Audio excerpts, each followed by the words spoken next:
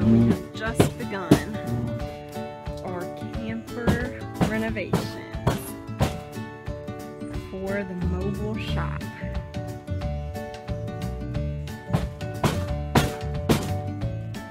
Ripping it all out. Bring it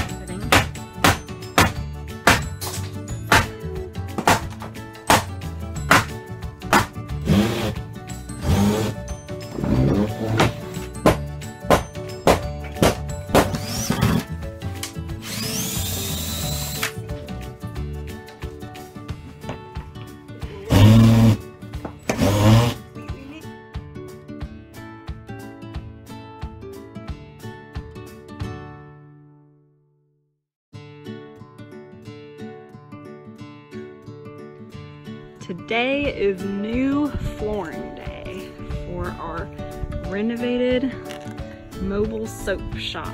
So it's looking kind of rough right now. But soon we're gonna have some new flooring put down. It'll be looking brand new.